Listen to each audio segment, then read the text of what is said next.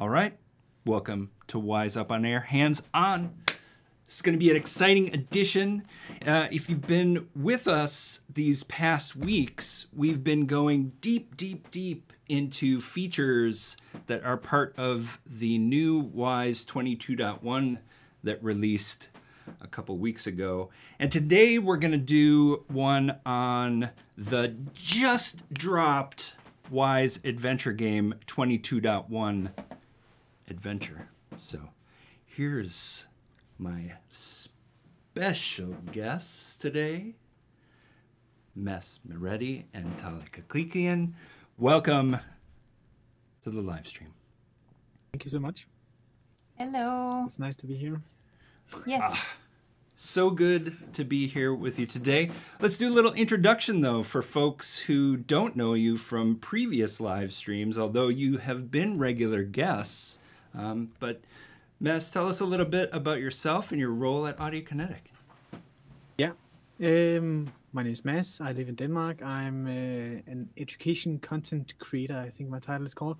Something in between an educator and a product expert thing, where I maintain things like I'm a lead on team training, workshops, those kind of things, or everything about uh, education, those kind of things. And of course, in that context, also Wwise Adventure game, which I was part of making as well, and um, yeah, the Wwise courses and such, everything about the um, educating our users. So that's what I do. Great. It's so good to have you holding down that piece of the puzzle for Audiokinetic and working with folks out there in the community who are just getting started with Wwise as well as, you know, advanced folks looking to get leveled up on some of these new technologies. So uh, great to have you doing that. And of course, the Wwise Adventure game uh, is a, a history that we both share. And so it's always a pleasure when we can get together and talk more about it. Uh, Thalie, a little introduction of you.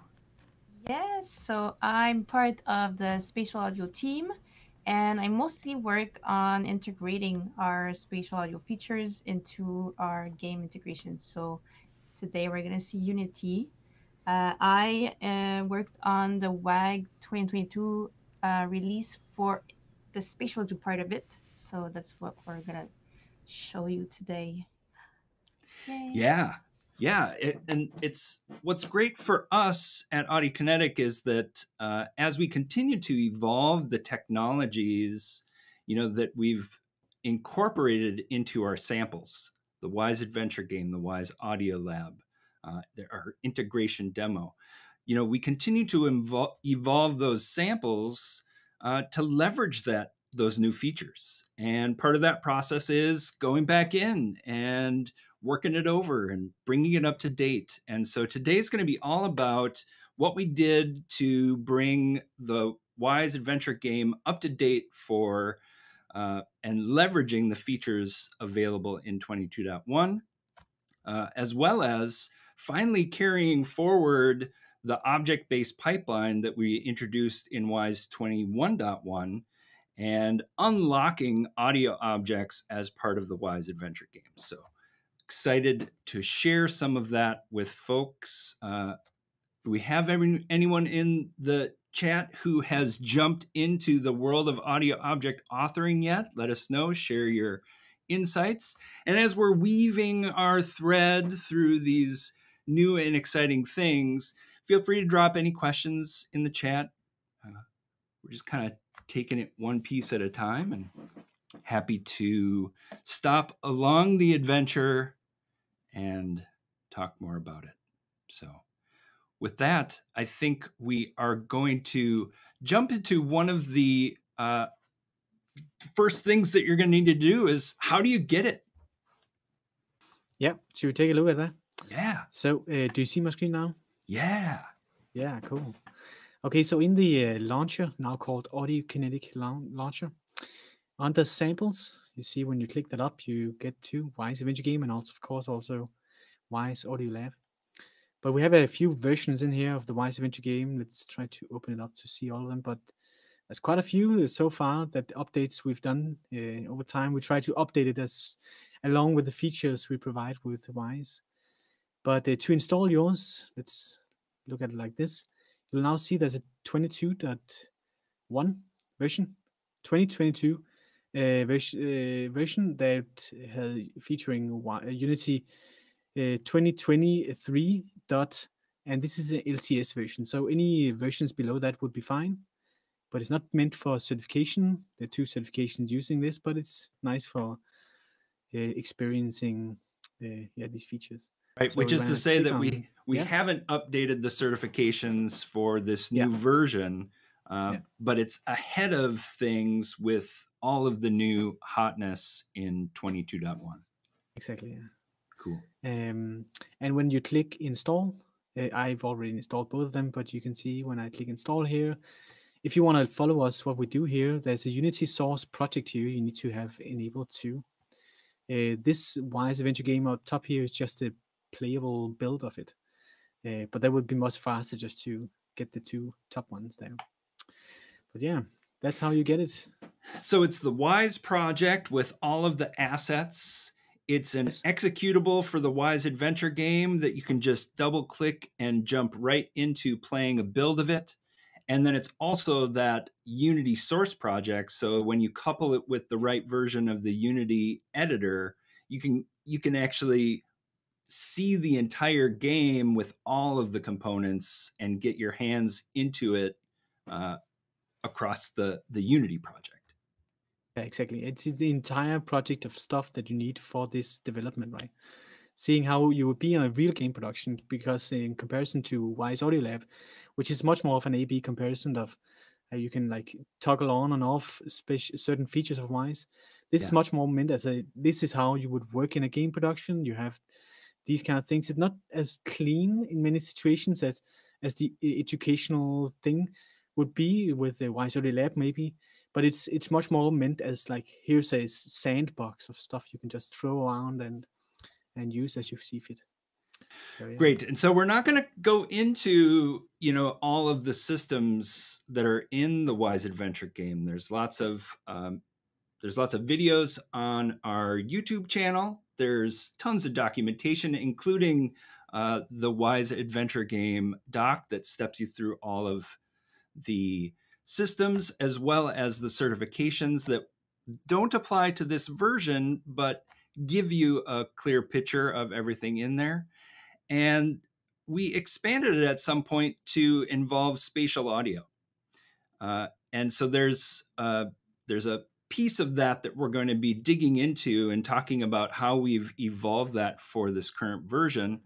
Um, but before we get there, I think there's another feature that we want to talk about.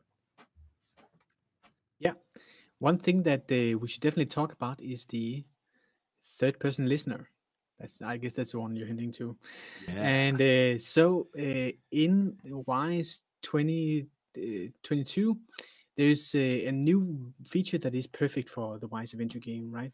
Because then let me just try to play the game here, and you can see that. Um, let's skip the dialogue here. So we have a camera looking at the player, and we have the character in the middle.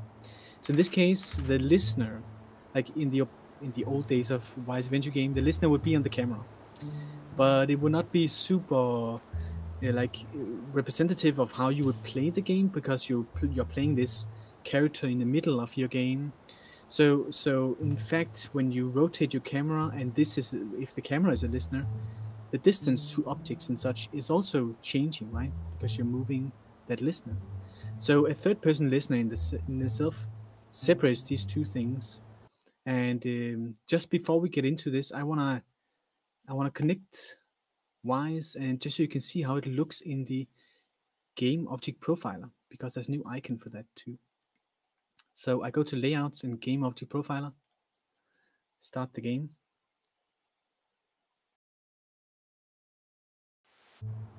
And then I'll just find the player. I'll click here, go to player, and zoom a bit in. And now you can see there's two parts here. There's on the right here, there's this is the camera moving around the player. And in the middle, you now have, to have this small icon here, which is the probe. Okay, so what's the difference, right? The listener itself when you it's on the camera still. It relates to all the orientation, so the the direction you're looking at, right? So if you hear something like this and it happens behind you, turn around, it will be in front of you. Uh, that should of course still be like that because you're looking in that direction. But for the player itself, there is a probe on it, and that's the small icon here. This determines the distance to things. So when I run up here to the windmill, for example, and I look at the windmill, the distance is calculated from that adventure to the windmill and not from the camera itself because then I, it will get louder as I rotate. So uh, yeah. And I guess I just continue, Damian. I will show you a few examples then because let's go to the campfire. I know there's a campfire in the desert. So I'm teleporting to that. Here. Let's turn on the campfire and uh, let's let's take out the music a bit here. So, and in Wwise I will find the campfire sound, click on it, maybe solo it so we can just look at that one. And let's look at the attenuation of it. So in here you can see there's maybe search for desert. So we only see that one. When I go closer, of course it's getting closer uh, because I'm moving both things. But I when I turn the camera here closer to the campfire, notice that it's not the like the distance from the camera to the campfire that is affecting it anymore. It's actually the player's distance that affects how loud the sound would be. But the like the positioning of the sound, you still hear when I turn the camera, the orientation of stuff is still happening on the camera. So that's really what the third person listener is.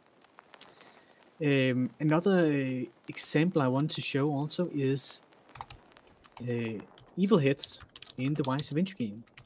Because if we jump to the cave here, down here there's a bunch of evil heads. I'll just attract a few here. And I will set the mode to God mode so I won't die. And so let's take a look here in the uh, Wwise project. Find the evil heads. And in here there's a certain sound called evil head attack bite. So with evil, evil heads, when you have a lot of them, you can already see now that if I pause the game and look at the player, so there's already a lot of evil heads around you. Which ones are the most important to play of these sounds? Well, of course, it's the ones that are the closest to you, because those those are the creatures that are just about to bite you. But in the old version of this, well, the the the distance for these things would be related to the camera uh, and not the player itself. So when we put something like a voice limit on, and this is a, is a thing you can learn much more about in the Wwise 251 course.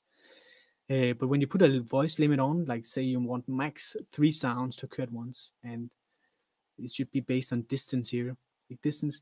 Then with the old system, it would pretty much look at these two evil heads here and think, okay, these are the two most important because they are closest to the camera. But in fact, there's another one over here, even closer to the player, that would be more important to play.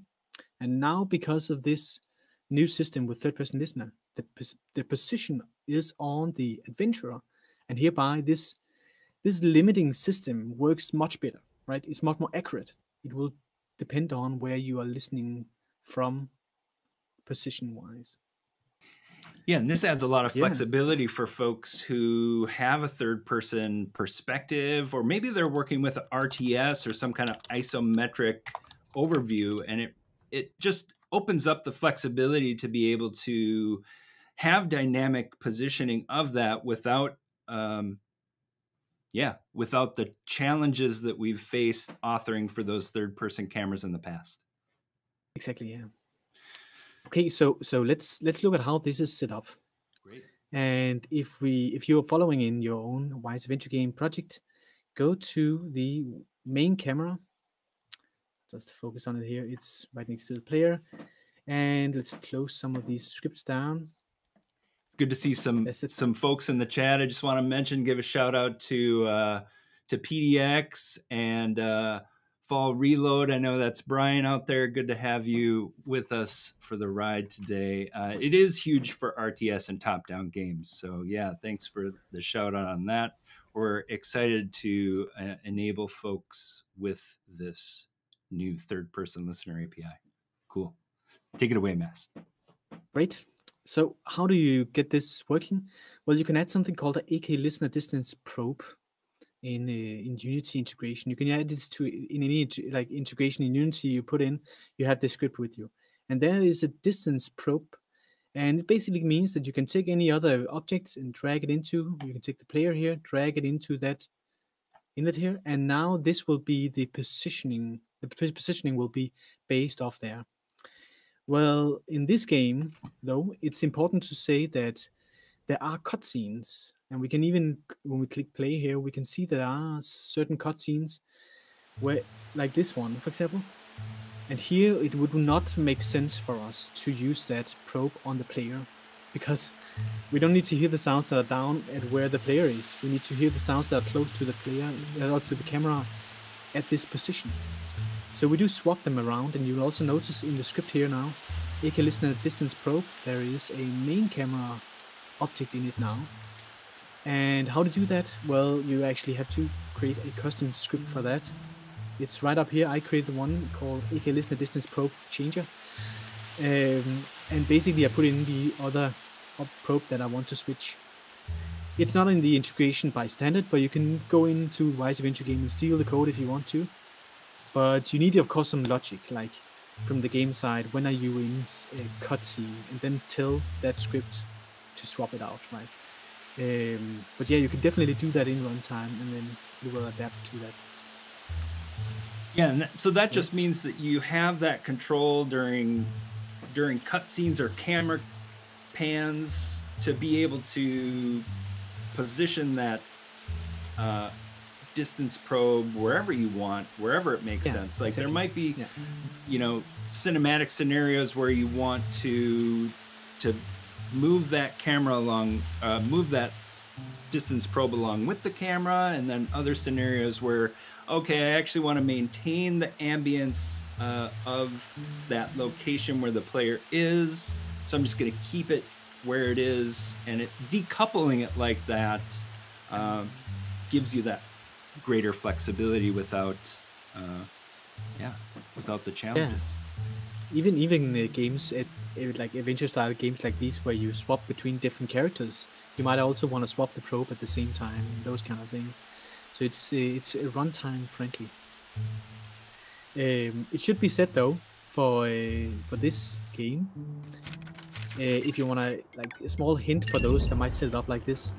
When the when the character when you have npcs that i'm let's just take off the when you have NPCs that might be important to play while being elsewhere. And oh, here we have a, the wizard in the game that needs to continue talking. Then if we swap the probe to the camera and move the camera away, we wouldn't be able to hear the NPC, right?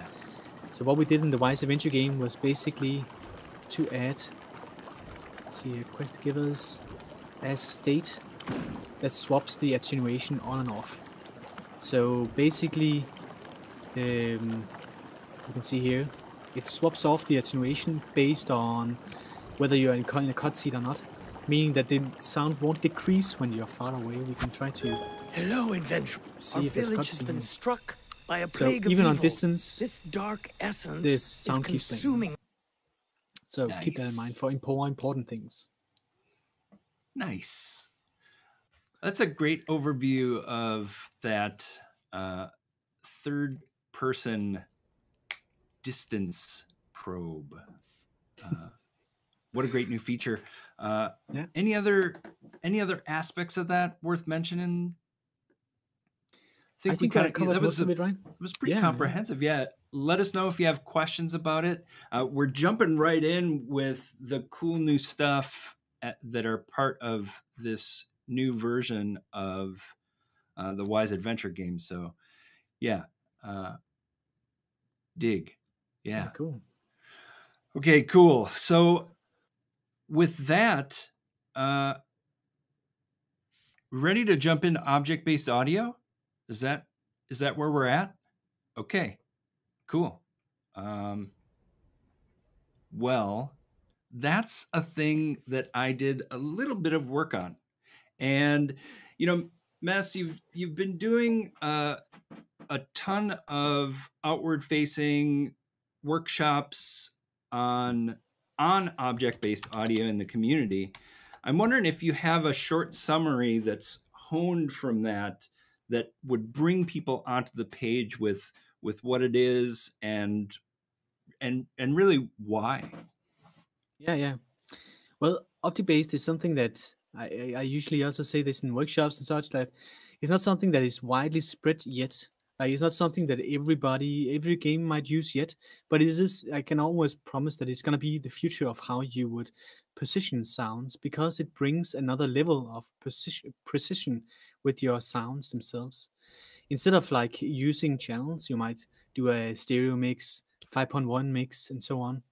Uh, you can, if you mix four objects, it really just doesn't matter what kind of channel based you might be using it for. Of course, you might do a channel base as well, but the objects will be sent separately. So you can have sounds that can be placed in exactly that direction, no matter what the endpoint might be. Uh, so it's super flexible for those kind of things, and also brings us on to something like HRTF, 3D audio methods that you need these kind of highly precise, like um, positions of stuff in order to calculate the the the, the best possible HRTF for your uh, ears, right?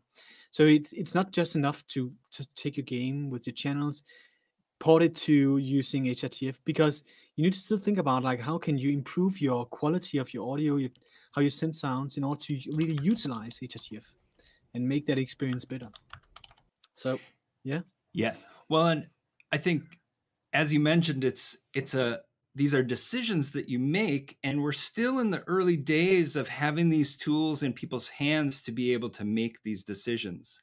And so that's one of the cool things about uh, working at audiokinetic and having these samples to work with is that we're learning right along with the community you know what some of the best practices are and and really some of the things that that work well in one scenario and not in another so I'm happy to walk through uh, a bit of the decisions and choices that were made in the Wwise Adventure game for 22.1. Uh, Thalie, you sticking around with us for this? Okay, well, I definitely uh, chime in anytime if something seems good. Uh, and I can't wait to get your perspective on those spatial audio updates. So with that, I'm going to step into the Wwise project and talk you through some of the routing decisions that we've made. And again, this is a project that we are carrying forward into, you know, the new object-based pipeline, really unlocking the flow of sounds through what was already in place. So if you're a developer out there and you have a project already and you haven't thought about using or leveraging uh, headphone spatialization, you know, there's still time, right? Because today we're going to walk through some of the changes that we made to unlock the potential that headphone based spatialization brings to, to your project. I'm going to start up here at the system audio device, and this became a uh, a new our new cross-platform system audio device as part of uh, Wwise 2021.1, and the ability to allow 3D audio when it's available at the endpoint, available and active. So on platforms that have it, when you toggle um, spatialization on and off, allowing 3D audio at the audio device will uh, hopefully do the right thing. Uh, and uh, we've gone deep on audio objects in past live streams. We got a bunch of blog posts online that you can dig deeper into. And so I'm not going to go detailed on other aspects of the audio device. I'm just going to jump right down to the master mixer hierarchy next. Uh, so from here, we have two top level buses. We have the non world bus and the world bus. And we can see that the non world bus has been set to a mixed configuration, and we can tell that here by the bus icon here. And looking at that configuration, we've set it to the same as pass-through mix. So in a scenario where there are audio objects available and spatialization is enabled at the endpoint, the pass-through mix is the part of the mix that will will not be processed by any of this spatialization. So it will only be the sounds as designed without any filtering or any other processing on it by the endpoint. And the reason we're doing that is this is the music. This is our music stingers. This is the UI. Uh, so we don't really want in uh, in this general case where we have these non-world elements to do any of this processing. Uh, so yeah, here we go, sending that right to the pass-through mix, ensuring that if people have spatial uh, enabled, that stuff's going to stay just the way we want it. Uh, over here on the world side, we've set this bus configuration to same as parent. And the reason we do that is because now that configuration can be defined by whatever the output configuration that's set. So whether you're using uh, bookshelf speakers, 5.1 surround, or headphone based spatialization, we can automatically adapt to that and and everything can dynamically reconfigure based on those settings. So setting that to same as parent uh, allows for that. Now, the the next bunch of buses I'm not going to go deep, too deep into, except to say that uh, is that at this next level, they've all been um, set as a non-mixing type bus. So their bus configuration is all the same as parent. And if uh, depending on the settings that we'll see down in the actor mixer hierarchy, we can just allow things to flow through the master mixer and arrive at the right category destination. So those categories are, as we have established, the same as pass-through mix, the main mix, which is a channel-based spatialized bed in a headphone spatialization situation, uh, and audio objects or system audio objects. And these are those precise um, lo locations for sounds that Mads was talking about, giving you that highest level of precision in a headphone based spatialization scenario. Whew. Okay, we're through the master mixer. Everyone still with me? Uh, looking in the chat, what do we got? Some good distance probe conversations. The question here Will Wwise get a Mac native release? That's a left turn, but I'll take it. Someday there will be a Wwise Mac native release. You can count on it. So we'll get back to you, and thanks for the question. Uh, we're thinking about you. Cool. Uh, whew back into the actor mixer. So let's dig in. Uh, we have a bunch of top level um, actor mixers in this category. And I wanted to step through them in a couple different ways. Uh, so the first thing is the player. Uh, the player to me is, well, it's the embodiment of your character. Um, and to that extent, it felt like the expectation that I had is that I would hear that player character uh, with all of the all of the fidelity that uh, that I expected, and so what I did down in the actor mixer is to direct the flow of audio objects using metadata. So if you haven't heard of metadata yet, or you're looking at your your Wwise authoring and asking yourself, where's the metadata? Uh, over here in the plus tab, you can toggle that on here and see that metadata tab. And what I've done right off the bat for the player is I've overridden the parent. And if we look at the parent, which is this world actor mixer, what we have is uh, we have the system output settings defined as mix to main. So it's at this level that I'm choosing to direct the flow of sounds as they're passing through the actor mixer. So an alternate way would be up here in the master mixer. I could also set this to the same as main mix configuration. Uh, but at that point, any sounds that arrive to that bus will be mixed to that configuration. And I, I don't have the kind of granularity of control that I want uh, in the master mixer. And so I'm leaving that as same as parent uh, and then making my decisions about what category of sound to send things to using metadata. So the player uh, has got a override for the same as pass-through mix. Okay, and so again, I want to preserve all of the frequencies there and make sure that uh, make sure that things uh, sound the way I expect them to without any of the spatialization or filtering.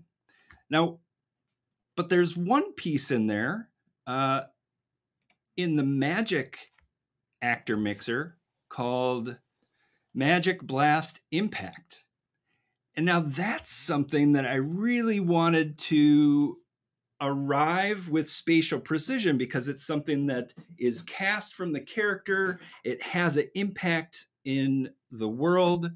And so what I've done is I've overridden the parent for this and allowed that to flow through uh, as as an audio object. Uh, so again, making that decision granularly at the point of use where you want something to uh, you know have that precision felt like a, a really nice way to well inherit and get the most out of that uh, parent-child relationship in Wwise but also be able to yeah let flow that precision for the magic blast. Stepping up the hierarchy, we've got the objects and we've got those inheriting from that world actor mixer to the same as main mix configuration. Uh, it's working great. Uh, in that, we've got uh, the props and destruction. Um, doors and props are just flowing right up through as the main mix. But for these destruction sounds, again, I really wanted those to be preserved through the pipeline and arrive with the greatest precision. And so overriding that metadata uh, and letting those flow through and under a scenario where headphone spatialization is enabled, giving them that greatest precision. precision. So again, like point of use, being able to override and let those objects flow. Moving up the hierarchy, we've got the quest givers. This is kind of the same thing as that player centric sounds. Uh, I've got those overriding the parent association of main mix and sending all of that dialogue through the pass through mix. Again, dialogue can work or not work when it's spatialized, it's really a creative decision. And certainly in a scenario where you have a lot of NPCs that are kind of chattering, you got ambient positional stuff. Yeah, I'm seeing I'm seeing spatialization really adding to that positionality. But in the case of our blacksmith and wizard, you know, you're having pretty close proximity conversations with these folks if they're not narrating the story. And so letting them through the through mix without any kind of filtering really made sense to me.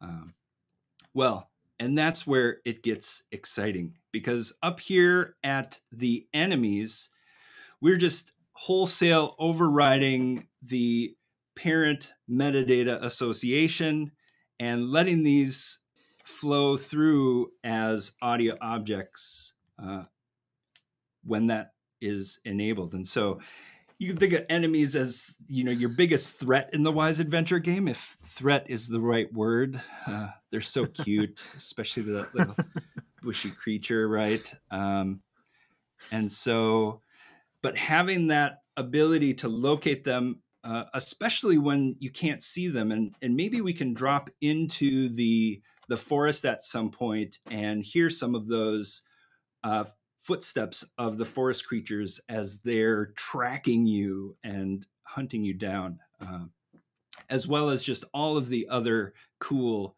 sounds of those enemies uh, spit plant bullets, the chomping head spawn sounds, like all that stuff. Uh, just has a level of precision that really elevates the experience.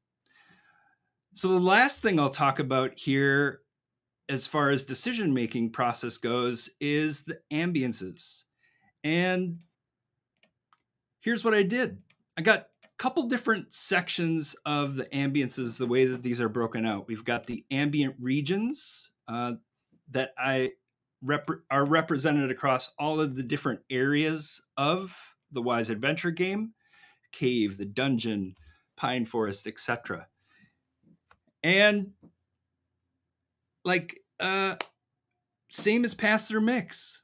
Like they have been authored with such care and detail that it didn't make sense to me to to send those through any spatialization for the main mix. Um, and this is a, a new field and a new area. So what worked for this game what worked uh, for my ears might not be what works for yours but in my experience with the Wwise Adventure game, I wanted to preserve all the frequencies and that rich ambient background. Uh, and so I just sent it to the pass through mix. And, and at this point, I just overrode it, changed the system output settings, and directed it to there. And then we got down to the ambient elements. And these are things like the ambient day and night. So digging in deeper to that, things like birds and frogs or owls and crickets.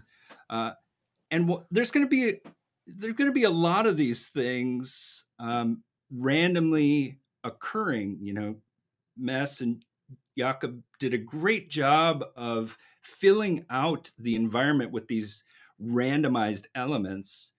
And while I want them to be spatialized, uh, I don't need the precision of their location because I can't walk mm. up to a cricket and necessarily, you know, tap it on the head.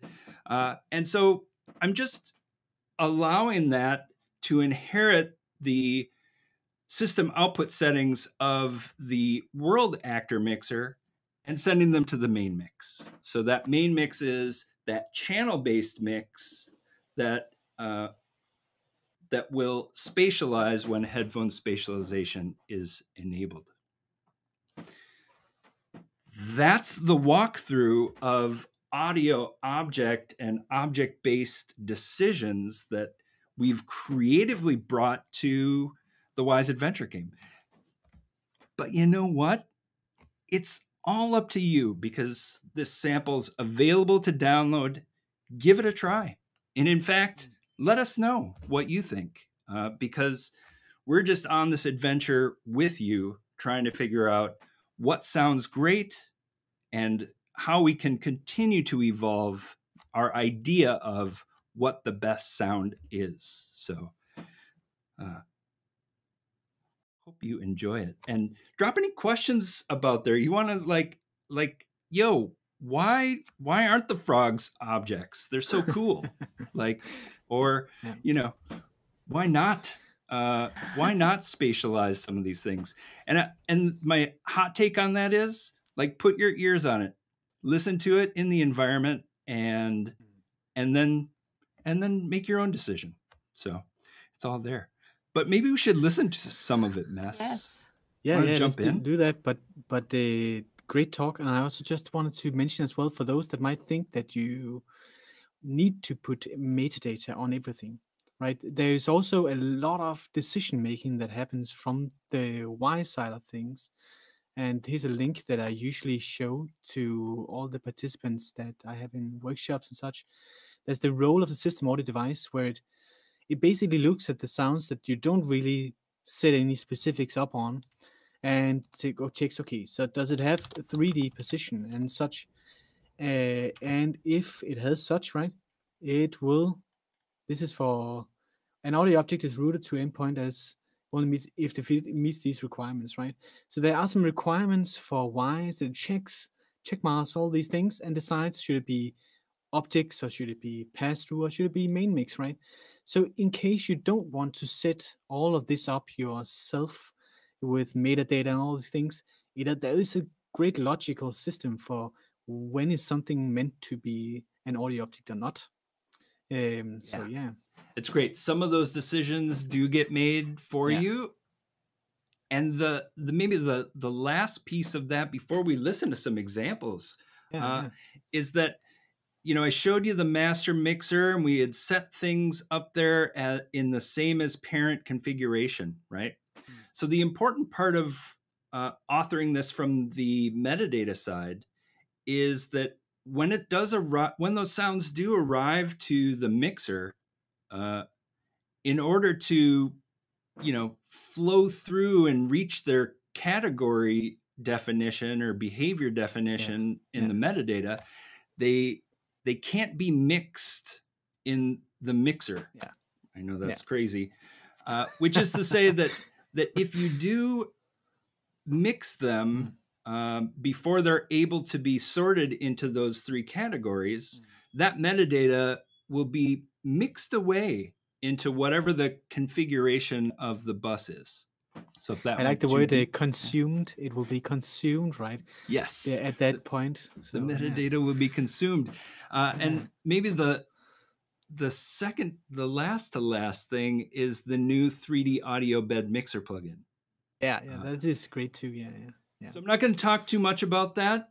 I'm going to direct folks back to a great talk that uh, core engineer Philip Milot gave at our recent Wwise Worldwide Online Expo, uh, where he gave an overview of the 3D audio bed mixer and how that helps you manage your objects in the mixer uh, and yeah, do some do some uh, prioritization of sorts of those. So cool. Okay. Uh, well, first off, I'm just going to show you for if you're working on Windows, there's a couple of plugins you can use for this kind of 3D audio HRTF rendering, right? In order to have object-based audio. And you can see when I right click on my sound icon in Windows here, spatial sound, there's I've got Windows Sonic and I also have Dolby Atmos for headphones. Uh, both these plugins can be used with the sample here. You just need to keep in mind if you use Dolby Atmos, you need to uh, go into the device. You'll just quickly show it and and drag this number a bit down, probably, uh, because there's not so many objects available. But you can use both of them. And if I do that, I will enable it and I will reconnect my screen because it restarts the sound card. So um, I need to reconnect my screen share. But once I do that, take a look in the audio device here. You see, is 3D audio active? No, at this moment. And when I put it on here, you see, yes, it's on now. So let me just re reconnect my screen share so you can hear what's it's going on. Um, here we go. And just quickly testing if here. Sound through? Great. Yeah. All right. So um, with this up, you can now see these three paths of sound going through. You see my available system objects. Right now, I don't have any, but that's probably, let's see here when I connect to the game. Let's try to play the game then. It's probably because they are reserved by the game. Still, only zero. Okay. Um, just quickly closing down this. Mm -hmm. Why is project opening again? It's an absolute scenario because at the endpoint, or you know, in this case, on the in the Windows operating system, there's a finite number of what they call system audio objects, and these are reserved by applications in order to uh, in order to get the the kind of spatial positioning. So one thing to make sure is that the authoring is not checked uh, to use system audio objects. Off. So we got that. We got that covered. Uh, Let me try to reconnect again here. Oops. Yes, okay, great. Available system audio optics with the Windows Sonic 111, right? And you can see how many we're using at this given moment, but right now there's only pass-through sound sent through. But what is probably very important to start out with, and I already talked a bit about it with a third-person listener, right? Let's go up to the windmill here and look at it. Now we're standing with the camera looking at it and the player looking at it as well. And then we have a new layout called um, audio object profiler. And here there's a bunch of views. But first off, I just want to look at this one with the head here. Because just because Wwise Adventure Game is a game where the listener is not necessarily on the head, right? It's not a, you don't look as a first person shooter, right? Uh, notice that when you look from the head here and for onwards and I turn the camera, now it's suddenly behind the head here, but not be behind the adventurous head here, right? So don't confuse these two things. This head here is related to the camera's listener, right? The rotational thing, whereas this adventure here is just the positioning of stuff. So when I go closer with the, uh, will, the sound will go closer, right? But uh, the rotation here will depend on like this. So some specifics for Wwise Adventure game at least. It makes good sense. Yeah. All right, let's uh, let's try to go into the woodlands then. Yeah. And uh, let's see what uh, happened. Actually, before we go in there, toggle God mode because we're gonna get into danger. So jump to woodlands and just to get some more light. Let's change to the time here turn off the music. And I want to look only at the evil spit sounds, the bullets themselves. You see here from the head here, the bullets are flying past. I implemented a special uh, stormtrooper uh, mode where the spit planes are not able to hit anything. It's not in the Wwise Adventure game by default, but you can certainly do that too. But now that I captured something, you can see here that you can quite easily see where the sounds are moving uh, relative to the head. Now, keep in mind these each of these bullets and such are becoming like audio objects. So when a sound here is placed, say let's take this one here, Evil Spit Plant loop one right in front of you here. No matter how many speakers is around you, right, it will be in front of you. Like if are you using a stereo thing? Well it will be rendered in front of you and then in at your endpoint with with this end uh, endpoint device you have which is in my case i just use stereo right? Just be rendered to that device. But so it's very scalable right? Do i use a hundred speakers around it? It will be placed just in the middle there. So keeping that in like uh, best possible spatial precision as possible yeah. Yeah, because when you talk about the main mix, that's a channel based spatialized mix yeah. in your headphones and it's limited to the number of channels around you that are virtually positioned, right? and while we do allow for up to fifth order ambisonic as uh, as that main mix channel based format, um, well, that's not always what's defined by the headphone spatializer or by the endpoint. And so, uh, so giving you that greatest amount of precision are those audio objects that, you know, through authoring, we've allowed to be preserved and used when those system audio objects are available.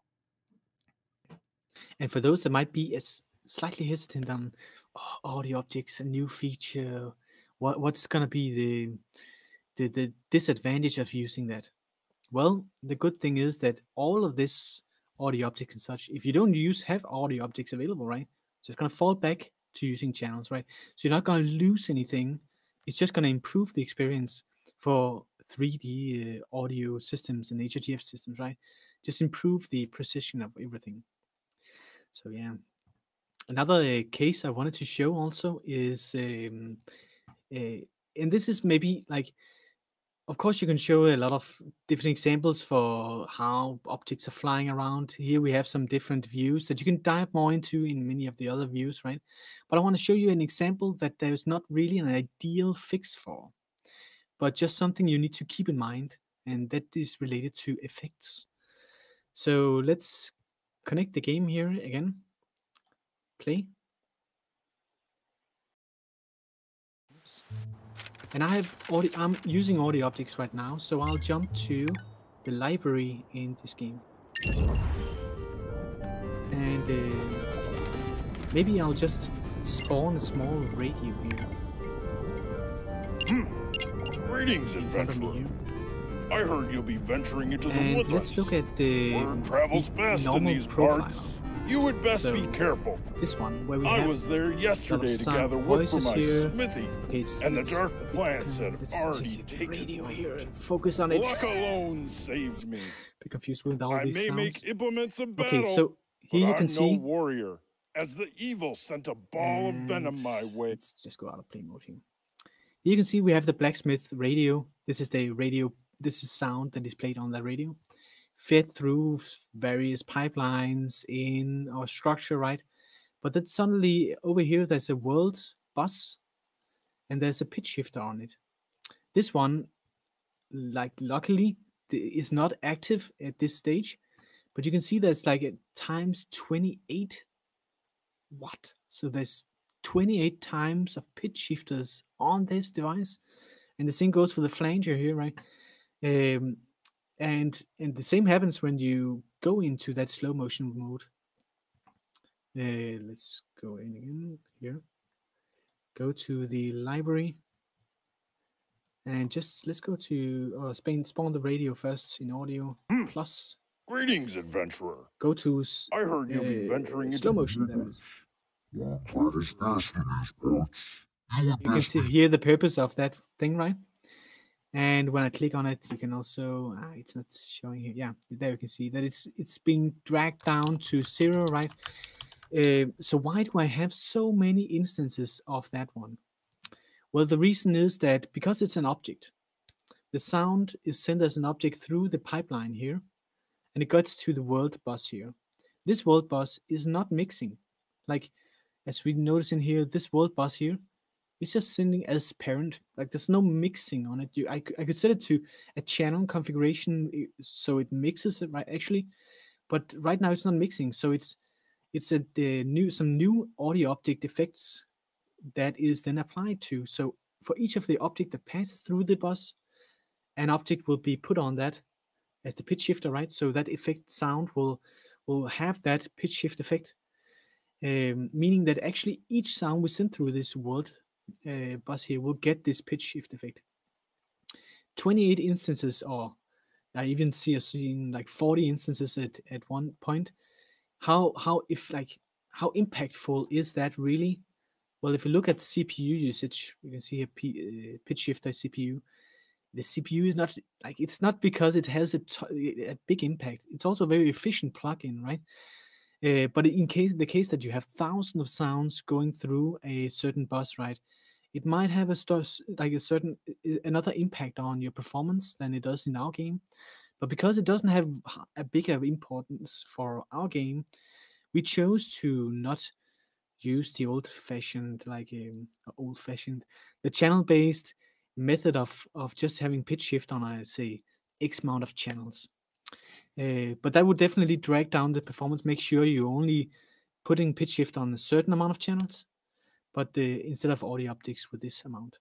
But and it, it makes a good game, right? Makes a good yeah. case. Again, this is an optimization step that you want to take as your game scales and as you're making these object considerations. Because as you mentioned, you know, for each object that arrives at uh, at a bus that preserves those objects uh, with an effect, uh, an instance of that effect will get created and in order to process that object without consuming its metadata uh, and hmm. so and so you can end up in situations like that and so it's definitely great to surface that to folks as their production scales it's one of those considerations I think if we had had audio objects back when we implemented that feature of slowdown and flanging, we might yeah. have yeah. oriented the hierarchy of the mixer a little bit differently in order to get mm. more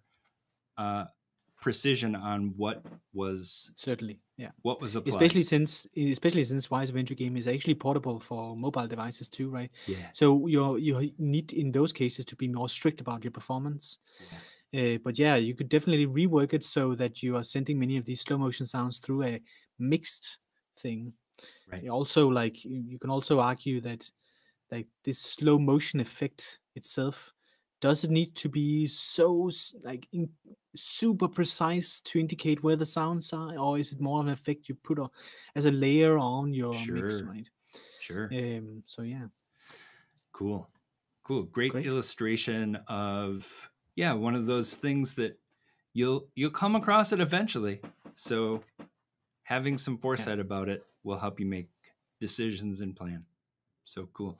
I'm going to address a question. And from, should yeah, yeah okay, maybe also say that I, I'm not going to show any like much more of the audio behind this, but go in and open the game, play it for a while, listen to it. Right, uh, it's much better experience than seeing us play it. Uh, try it out yourself. Also, the Wwise Audio Lab, you can also try out the experience of 3D audio on HRTF and such. So try that out. Toggle that on and off and let us know. There's a question in the chat Do I have to change any settings on the Mac? And we do not currently support any headphone spatialization on the Mac platform right now. And so this is something that on a PC you can just in your Windows sound settings toggle it on and off. Uh, the Windows Sonic uh, spatializer comes with uh, your Windows installation uh, but we do not have support on Mac right now for any spatial solutions. But it will come, and when we when it comes, it will also be available on uh, iOS devices. So uh, yeah, stay tuned. Cool. Well, I think we're going to drop some links into the chat for folks who want to get their hands on audio objects, uh, some simple steps, a little bit of background information, and uh, and some context about this whole feature. So feel free to jump off into that later. But meanwhile, I'm excited to jump into the bonus area of the Wwise Adventure game, and that's the spatial audio DLC. DLC, don't need to download something else. It comes no, with the rest of the game. just you need to uh, enable it somewhere in um, the menu. Should so let's that? just go, yeah, yeah, and because yeah. the first thing I want to show is uh, the map in the Game Object 3D viewer. So when you play the WAG, you can open the menu and go to the audio tab and then you can enable spatial audio over there by clicking on this button. And uh, when you do that, everything stays the same except when you approach the dungeon. The dungeon that get that gets loaded is another map, uh, which is called the spatial audio dungeon. So Uh, let's go. You can um, travel to there. And the audio dungeon is different because uh, we added some geometry. You want to go to the uh, library or the dungeon. dungeon? The dungeon. Dungeon. Uh, so if you check the geometric viewer, uh, I uh, so we have like some um, rooms, some geometry, some portals, uh, and everything that you need. Can you like turn off the music? Yeah, certainly. One thing uh, that you want to do sometimes is put the music off so you can really hear like some reflections. Uh, when like right now, the reflections that we see is the fire, uh, but everything Just quickly is uh, reflect focus on the enabled. player. Yeah, go for it. So I can, Uh, can better. So There we go. So what we did in this version compared to before, because in 21.1 there was a spatial audio map uh, that doesn't it hasn't changed. But the thing is, we optimized our map and and reduced the number of triangles. So I have I went and checked out numbers that I got. Like before, we had more than 10,000 triangles in our dungeon, which is not something we recommend. So we changed that, and now we have less than a thousand triangles, which is better. Uh, the same goes for like the diffraction edges. Uh, Some things, like quick things that we did, is like the pillars, for example, that we can see here are just blocks. And if we go um, and we, we can see one in front of the adventurous on the right in the WAG, like it's a detailed like pillar, but the in like sound wise, you don't really um, see that if you just listen. So what's is what's so bad about having a ton of triangles? What's so bad? Um, it's because it uses a lot of CPU. Each time we have to, um, like for example, this pillar has diffraction enabled, and so each of its edges uh, is analyzed to know like is there going to be a diffraction path over here over there and if there's a multiple ones then calculations is more uh, expensive Yeah. and Thanks for that. Great For description. reflect also and for diffraction, like both. For reflect, it just adds a bunch more image sources that are not that um, important. Another th- really uh, easy thing you can do to reduce the number of triangles is removing anything that is on walls and just have the wall as a single plane. For example, like this pillar is not in. Uh, can you put like a wi- wireframe? I feel like it's a Oh better yeah, yeah, yeah, view. Um, go up to the eye up here, and I find the wireframe here. Display as wireframe. Yeah. Um, so if you like zoom out a little bit, like, uh, yeah, over here you can see there's a diffraction on like a, a flat wall, and I didn't add any of these pillars on the walls because they're just like decorations for your eyes, but for the sound doesn't really matter. Uh, that your wall is a little bit closer for like what, like um, a, a foot in Yeah. doesn't really matter. Um, And you're not you're not uh, even like auditorily able to differentiate the sound coming from there or from slightly yeah. left, right. Um, so Depends on, I guess, your attenuation curves, but our attenuation curves are not that precise. um, so uh, someone's asking, do we need a Wwise reflect to make it work? And uh, the game that is like the the when you download it from the launcher, it comes with um, all the sound banks that you need. So there are Reflect sound banks in there. But if you regenerate new sound banks, then and you don't have reflect, then you're gonna lose them. So uh, and so yes and no. you don't need But the need. good thing is that if you get an academic license, I believe there's a Wwise reflect with that too, so you can just re- regenerate with Uh, that. I'm not sure about this. We can always request an evaluation. Right. Yeah. Um, another thing is you can um, not generate banks and just connect with Wwise, and then you'll be able to see everything Reflect does. You just won't be able to to build some generate some banks with Reflect in it. Um, what else are we gonna talk about? Uh, yeah, well, since we're talking about Reflect, let's just say that the simplified Reflect was added to our uh, project. But right now in the WAG, it's not using like the full potential of for Simplify Reflect. But if I can do like a small um, resume of what Reflect Simplified Reflect is, we can uh, maybe just look at uh, our Reflect aux bus. And the difference is if you go actually in the general settings of the aux bus. Uh, yes, certainly. So the only settings. difference between uh, before simplified and after simplified is that we enabled, uh, we uh, changed the bus configuration to audio objects and this will uh, just allow Reflect to be able to see uh, sounds that are inputted in the aux bus, um, which attenuation these sounds are using, right? And instead of having custom curves, you can uh, use the attenuation curve of each sound. And so before you would have maybe like right now we have only one aux bus with one reflect effect. You can go back to the reflect effect uh, editor if you want. Um, right now, down here actually. Yes. Uh, right now, we're not using this at its full potential because all of our, our curves are custom.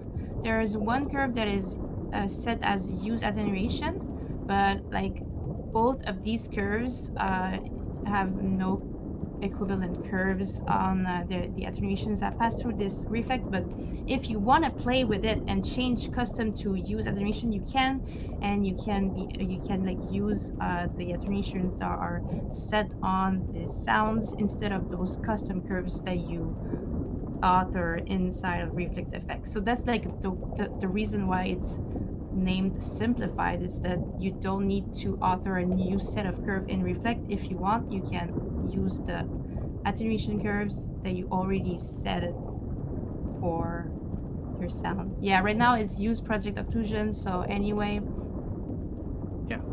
It's actually most same... I think every all sounds in our project right now is using the project right version, but it can be written which you, yeah, this yeah. is also a new thing. Uh, it's not really related to spatial audio, but this is also a new thing that you can play with in the WAG and everywhere in the WAG, not just in the dungeon, and you can modify the attenuations of your sound and directly in there you can have some diffraction curves but if you're not using spatial audio you can modify the occlusion curve the obstruction curve.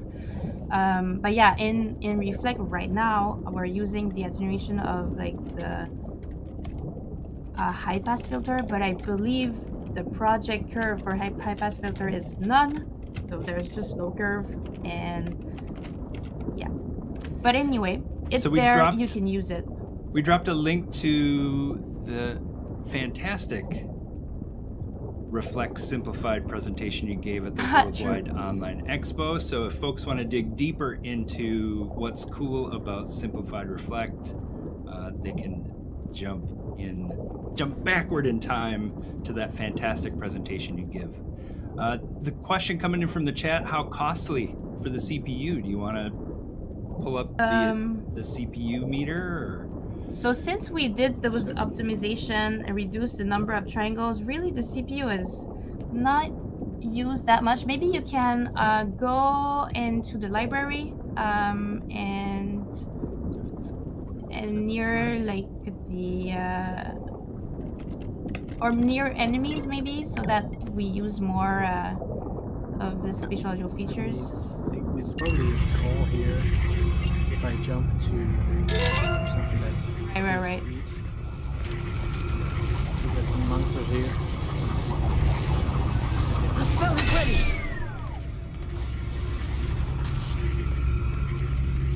Alright. Oh, we're looking at reflect here, but there's also down um, I don't know if the sound is too loud right now. Okay. Um, down uh, at, the the bottom of the Wwise uh, window that we're looking at right now, there yeah. you can also um, enable some spatial audio. No, if you have to go to oh, yeah, the, yeah, true, yes, true, yes, true. Yes, yes. Some spatial audio. Um, we have like detailed stuff you can look at. Um, really know where uh, your CPU is coming from. But right now we can like, can you add just spatial audio CPU? there we go. Everything. Let's see. Uh, so there. yeah, two percent. Like it's not so bad. Um, but um, let me show. Uh, let me let. Let's look at the geometry viewer. Like, is it really using reflect right now? Because the walls are pretty far. Let's see. Look at the player again. Cam. Player. Focus. Oh yeah, yeah. what a nice uh, Christmas uh, star. Yeah. Maybe you can also like. Oh, at the same time, let's uh, let's go and look at the other thing that we wanted to show is uh, the the door to the DLC area. Yeah. Oh, but before we leave here, can we crank up the orders? Oh yeah, Yes, yeah. You, certainly a you good can idea. change the orders Yeah. uh, in the So- audio tab. What are orders? Mm. So the number of order that's really about reflect uh, is um, the number of surfaces that you will hit, like the sound will hit hit before coming back to the listener. So if we put two, then we allow the sound to hit two surfaces. Uh, if So we put four, we have all the Yeah. orders. Let- Let's put four. Let's go. Let's do it. Switching to Yeah. four. All Uh, I orders. think you need to do back, and then you need to move. I think also that I it will be easier to see in a smaller room. So Yeah, it's right now we can see that there are some of uh yeah, like uh the way you can Just see it quickly go uh here. and spawn a radio instead, and Yeah. then go to the. I like to just whack on the columns with the, with the Oh, sword yeah. and different surfaces and different weapons. So, So- before we would only see yellow lines because those represent first order reflections and uh, the red ones are the maximum uh, number of reflection you can have so it just gradually um yellow orange dark orange and red i think uh for You can actually switch orders. between these things with one, two, three, four when you've enabled it. on the So keyboard. that's what I'm doing right now in order to get more reflection. And so, like it. this, if we check uh, the CPU usage, for example, for uh, for Reflect, CPU usage. uh, so like Reflect now is has jumped to three. Three whole percent? Yeah. okay, that's not very much. That's not very much. But Laura? but yeah, spatial audio CPU is only zero uh, because they're really separate things. Uh, spatial audio CPU would be more like uh, diffraction, diffraction through portals, uh, transmission, etc. Uh, so let's do this uh, open the door um, scenario that we wanted to show.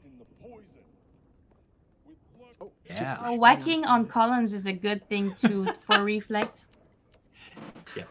Uh, Okay. Lord Doob likes to do it in real life too, so I I agree. Lordube is the uh, is Jacob Ah, to spoil his. Uh...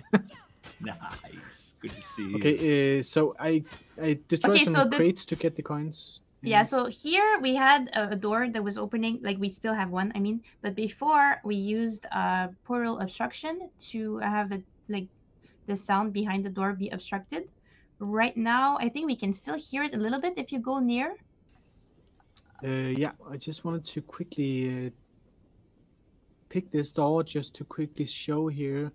This Yeah, is so- door is a object that is now just a surface. Yeah, before it wasn't, and we just put a uh, obstruction on the portal that is just behind. But right now we put like just oh yeah, if you remove it, then we hear the sound, of course. So we put a geometry there to block the sound, and what we hear if you go to the Geometry 3D viewer is a transmission of that sound.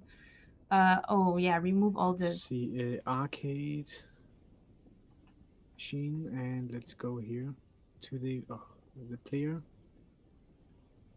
There we go. And So yeah, we can see there's a transmission path, and I've put a um, percentage lower than 100, so we could hear a little bit uh, behind the door. If you go back as in the like inside normal view for the game, and then you try Yeah, to yeah.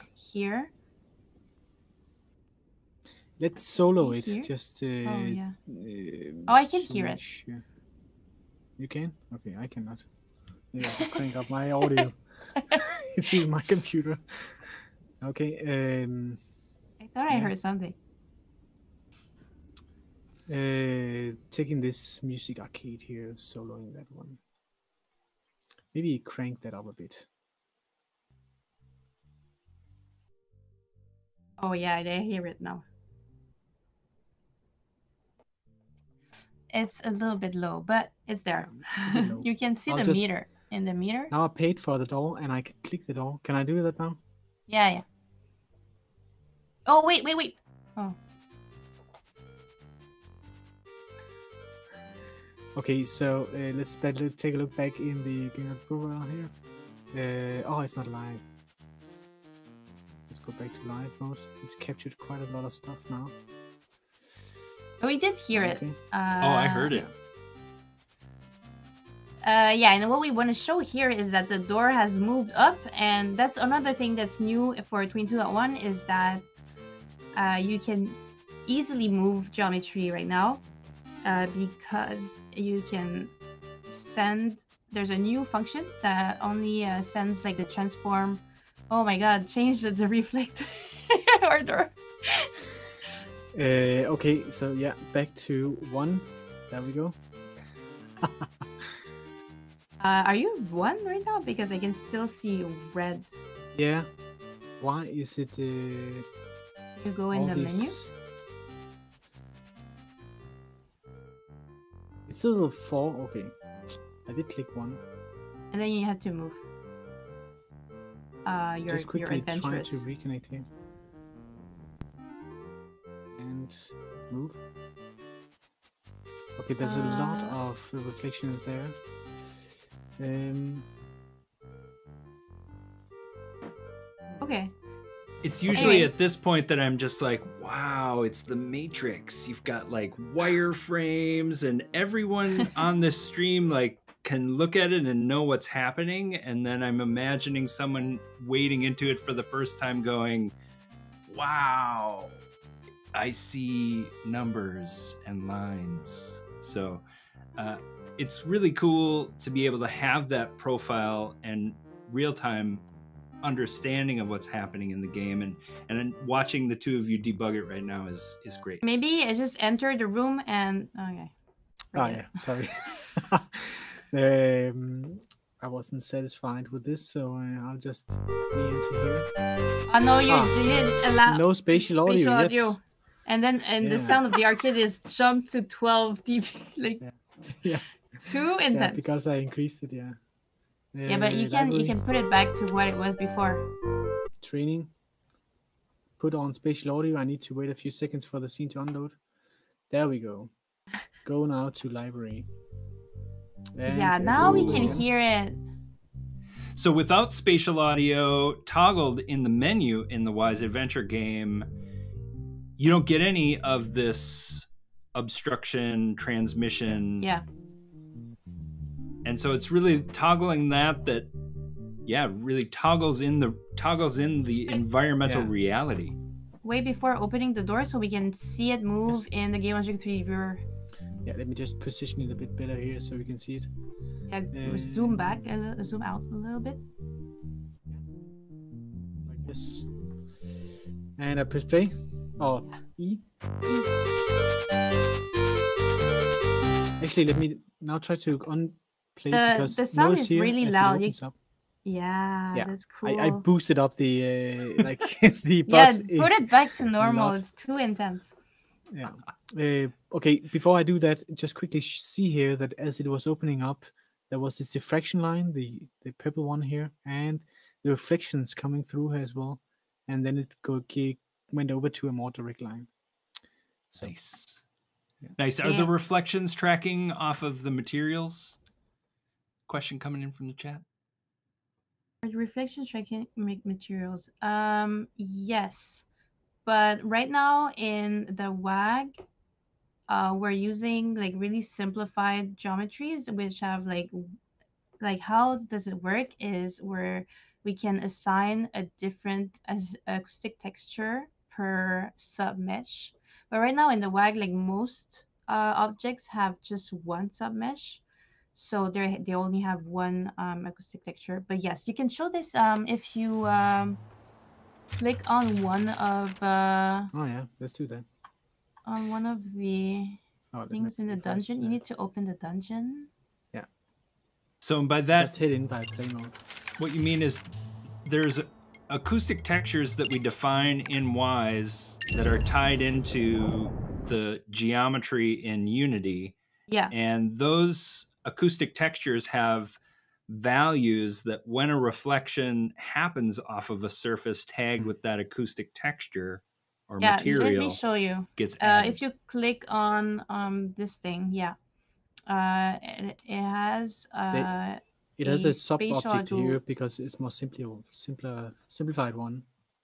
And on this one, you add an AK surface reflector uh, component, and then uh, over there you can add acoustic textures, and it's one per submesh, and the, there's only one, so we just put wood, so everything's wood, and when reflect touches this surface, it it knows that it touches wood, and then wood inside of the authoring is set up for some uh, filtering uh, depending on the if you go to the audio Oh. uh, share set tab Uh, I just yeah yes, share sets here, and acoustic virtual acoustic. Here it is textures. We do have Yeah. these. there's wood and like wood has a different absorption value Hmm. per uh, per frequency cool. And the texture, connect the game those so you can textures are per collider coming from Jacob. Like for each reflection, for each uh, bounce off of a surface, that texture So is you- taken into you- account. It's per it's not per collider necessarily. It's per per mesh, because you like the colliders is usually uh, for the not a collider. boundaries of stuff. yeah Yeah. we're adding an AK surface reflector component uh, and this one needs a mesh you can put a mesh there uh, if you like if you put your your mouse on the right there Yeah. um and yeah you Right can here? you can specify no no no no no Yeah. i mean you can specify the mesh no not this Oh, okay. Yeah, this would mesh. Yeah, yes. yeah yeah you can specify the mesh here or if you don't specify here and you have a mesh on the same game object it's going to take that mesh and Yeah, it's going to send copy. this to spatial audio and then if you go back to the authoring and look at the 3d game object viewer I just quickly wanted to reopen it so it couldn't. Uh, the, uh, for some reason, it couldn't find my game running. Yes, and in here. uh, no i mean in the game object 3d viewer Yeah. um, oh yeah, of course. there is a That's what I was about to do. Reconnect to the game. maybe it's because you're you're paused Well, i think it's because you're paused yes But it should it really stop the game and i think you need to Let's click see. on pause right Yeah. Yeah, I did click. Mm, okay have too many things open.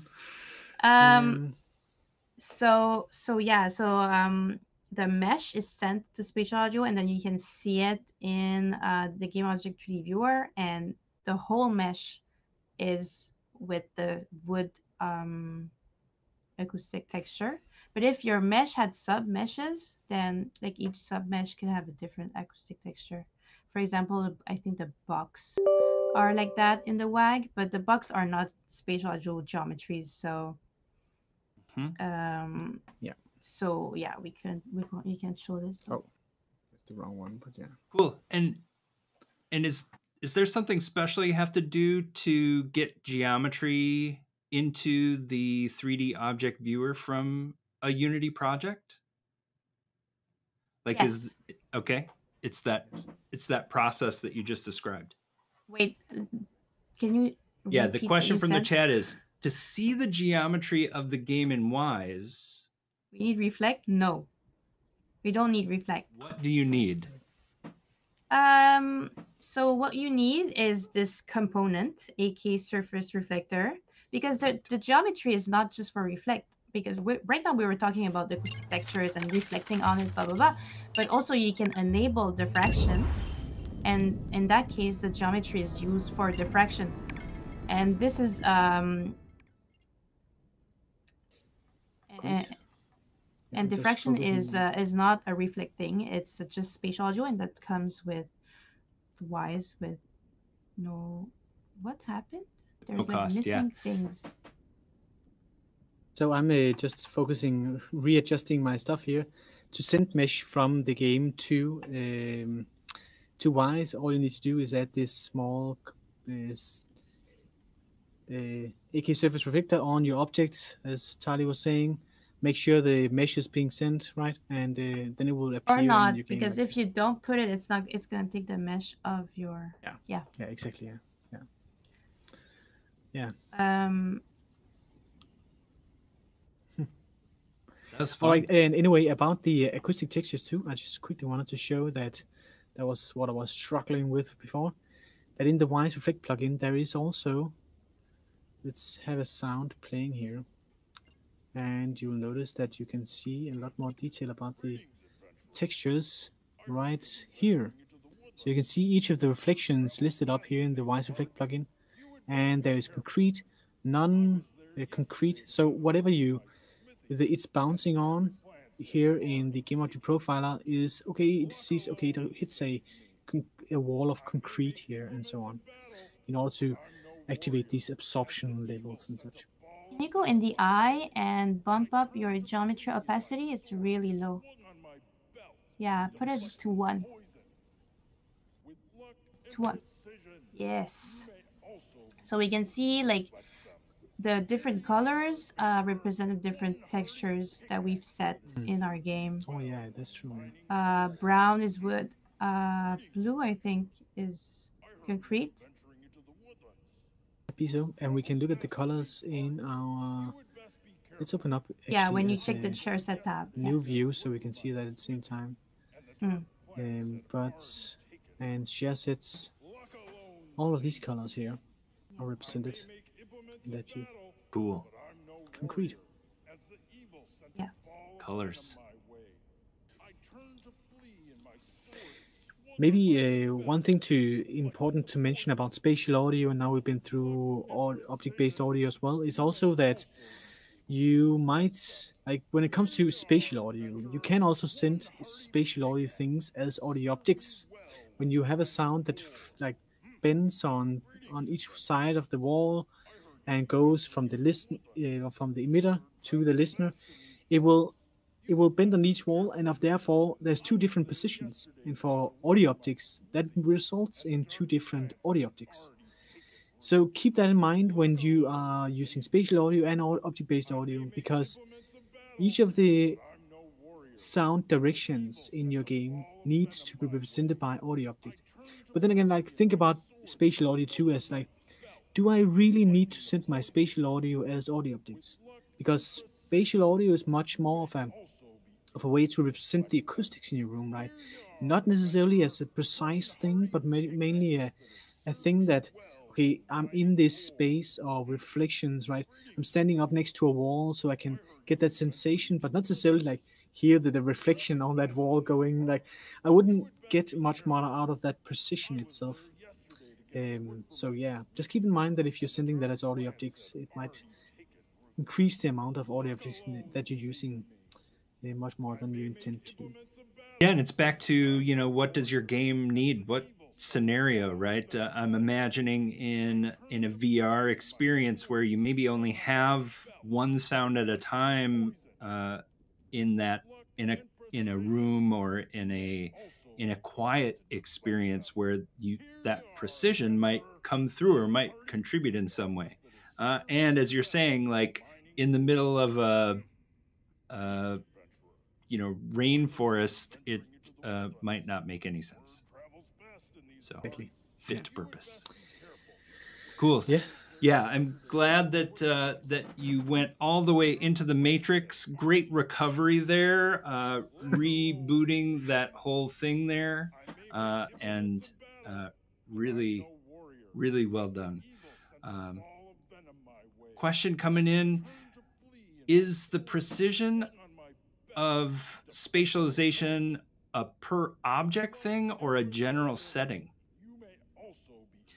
So it's really it's really this idea of uh, so with reflect specifically, you know, each time uh, the sound of something bounces off a surface, we call that uh, what do we call that? Uh, a reflection. reflection. Early reflection. Yeah. yeah, we call that an early reflection. and uh, and so and so we're calculating those reflections in those orders as we showed like bounce at one time it can bounce two times it can bounce three times it can bounce four times right? And so each of those is being calculated in space uh, and pos- and its position is being calculated just that's part of reflect so There's another thing you can uh, play with um, in the spatial dungeon is the third person listener. Because um, there are some things that we decided okay the, the fraction paths we decided to bring them back to the camera uh, and not the character. Um, but the distance attenuation is with the character. So you can play and see if you like it if you don't you cannot And like it. And there is a fantastic page, I think, about third person perspective and spatial audio, where you get these kind of explanations and scenarios um, on how that works with spatial audio in third person. nice I don't know, maybe you wrote this, Thalie. Uh, no, I think it was Nate. okay. All right. Cool. I I think there's other questions I'm trying to read. best be careful. I was there yesterday to gather wood for my smithy, and the dark plants had already yeah again good insights coming from the chat uh, I may make Jacob says comparing it to LODs on graphical objects, like the main character being high resolution and other objects being uh, getting less uh, budget.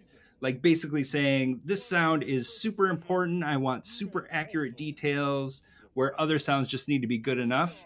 And taking a step back to that object based pipeline, you know, that would be you know that high level of detail is preserving the position of the sound all the way to a headphone spatialization as an audio object that gives you that precision and then falling back to a channel based main mix is that kind of good enough when you want your sound to be spatialized uh, using an endpoint binaural process. So yeah these are the kind of decisions you're navigating there and and you're exactly right. It's a it's a lod kind of system for audio precision.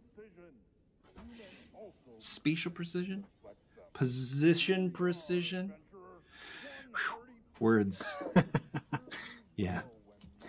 Then again, like that, there's there's so many decisions to be made in this, so I can only uh, uh, suggest that you go in and get comfortable with the two, three different types of, of pipelines you have here, because like, say that when you if you're building a game for 3D audio, right, you you might not want the ambiences ne- necessarily to be as affected by this this HRTF as much, like because it's more of a gl- global thing around you anyway, right? Maybe there's some specific decisions to be made for each of the sounds and for how you send it through this pipeline. So get comfortable with this pipeline because it will stay there for some time.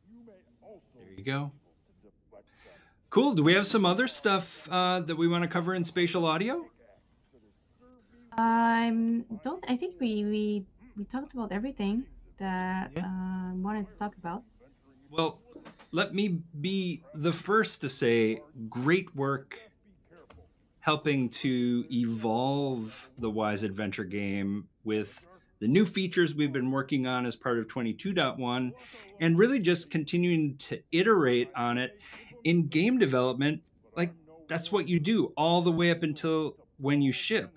And with something like a, a game as a live service or something like the Wwise Adventure game, like we will continue to ship and update it over time and so thank you for taking the time to evolve the methods in use to help people understand better how to use them. So nice work.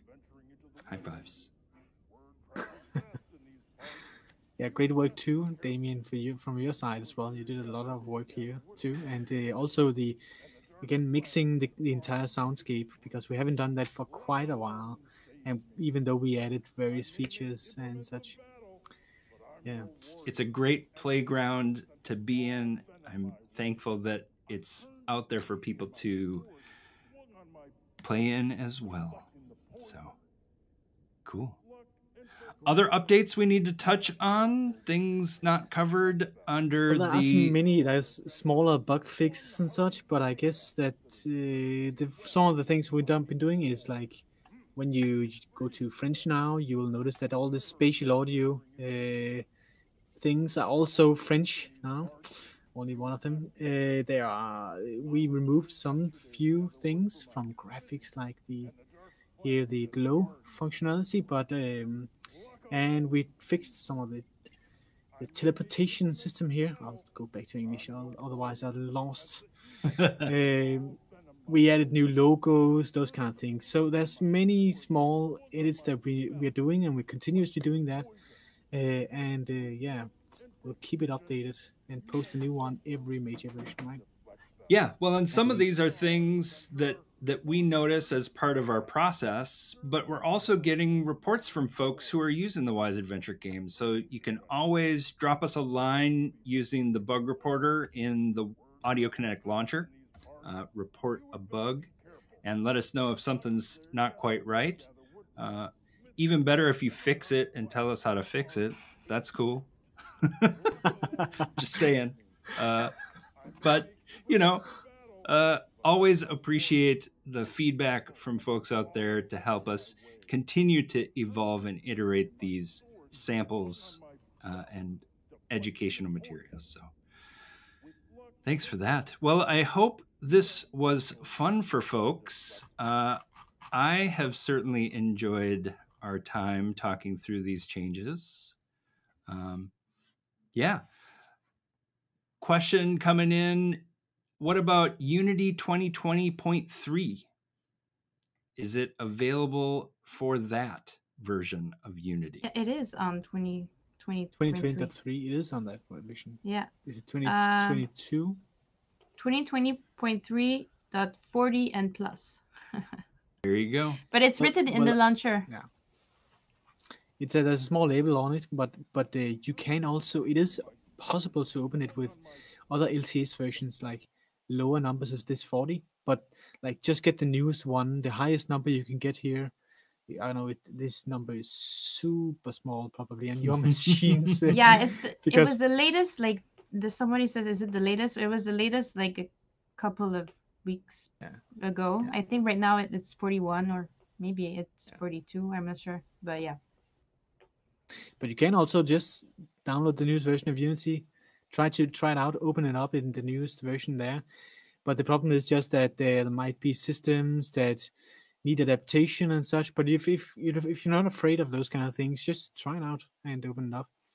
Yeah, I think Um, I tried with 2021 and it was okay. but there are there are errors that appear, but Yeah. it was okay. great. Awesome. Great. Well, uh, I really enjoyed our time today. Thanks to folks who showed up. Great questions. Thank you for helping guide us on this Wwise Project adventure game adventure. And thanks again, Mads Thalie. It's great Thank you too. to work with you. Thank Appreciate you. your experience and insight.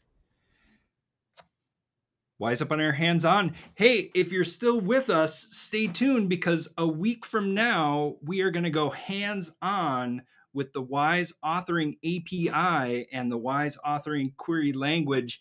Say it with me Wappy and Wackle.